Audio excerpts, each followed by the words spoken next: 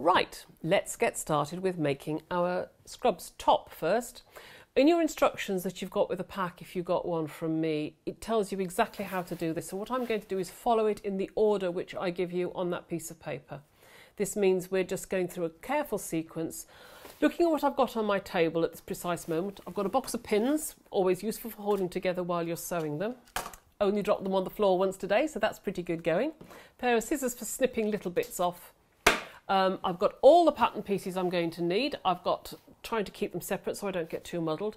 This is my sewing machine. I absolutely love it. It's got a few fancy stitches on it, but at the moment we're going to be using just the zigzag and the straight stitch. Uh, if your machine would do zigzag, that's fantastic. Um, you may have a thing called an overlock stitch on it. But when we come to overlock, this over here is my overlocker. Now I'm going to use my overlocker when we make the trousers and on some of the edges on this because it's simply much faster. If you haven't got an overlocker, it is not a problem at all. People who've had them really love them. However, they are another, another level of sewing really. Great if you're doing lots and lots of scrubs, um, but certainly not vital in this operation. Here I've got my zigzags and my straight stitches and that is all I need. I'm remembering that we've got a one stitch seam allowance. So on your machine, you can see uh, you've got one centimetre seam allowance, seam allowance. So when I get that little line there where it says one, that's roughly where the edge of the fabric is going to be when my needle goes in. I'm going to not have the smallest size. I'm going to aim at about a 2.8 for me on this machine um, for my stitch length. Let's see how we go. First of all, let's take our tunic top. We're going to need, have it the right way up, which is a good start. You can see there is the neck at the back. Double-sided fabric, doesn't matter which way round it is. But we mustn't get confused and start sewing things the wrong way out because it's not obviously one side or the other. Um, you can get a bit muddled and end up sewing seams in two different directions. So here we have the front being sewn to the back at the shoulder seams. I'm going to pop a pin in just to hold that roughly in place. I'm trying at this stage to be careful not to end up putting them where I'm going to sew. Stitching over pins can damage your needle and your sewing machine. Um, occasionally it doesn't really matter. If you think there's a risk that you need to have more pins in it, pin them like this so that if the needle goes over them, they slide over and don't go too fast because most machines will slide over a thin needle like that. So, let's get going. We're going to place the foot here. I'm going to line up the edge to one centimetre and we're going to do our best to try and make a nice steady line.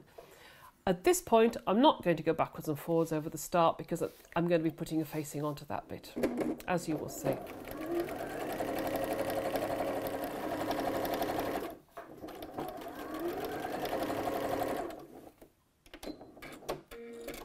My machine, as you will see just there, has a little scissors which cuts off the, the, the thread as we go.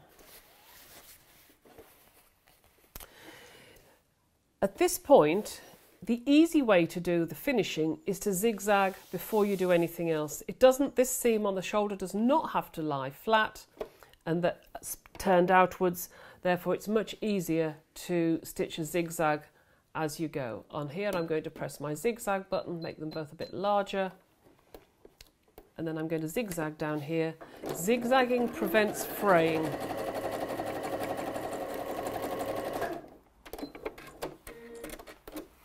There we've got a one inch, one centimetre seam allowance and a zigzag seam that won't fray when it's washed. We're going to the other shoulder, we're going to pin it exactly the same way.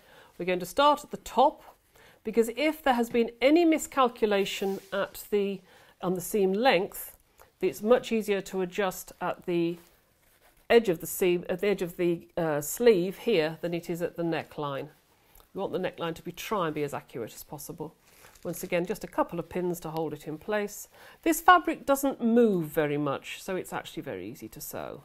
And as you'll note, it's not uh, fraying as we sew it either. Some fabrics do fray terribly, but this particular one doesn't. Right, let's begin let's begin by with our second thing. First of all, we must remember to go back to the straight stitch, which on my machine is the press of a button, and then I want to make the uh, size again, stitch length a little bit longer again. Uh, here we have a, a, the sewing machine foot here is the standard craft foot that comes with the machine. It's got room therefore within that to do the zigzag when you just switch it. Um, there are loads of different feet for sewing machines, all of which have got a different um, purpose. Uh, so just make sure the, the foot you're using is accurate and purposeful for the activity you're doing because if you use the wrong foot, it can lead to a lot of problems. Here's a basic craft foot. Let's see how we go. Line up the one centimetre uh, mark with the edge of the fabric and let's slide down the other shoulder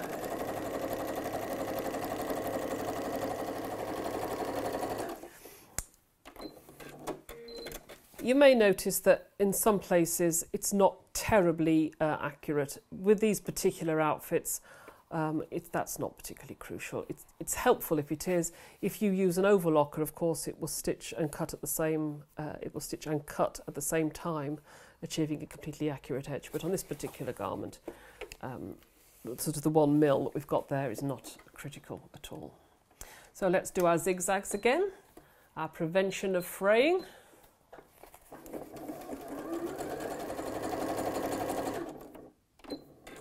And cut. There we have two shoulders sewn together and we're ready to put on our facings.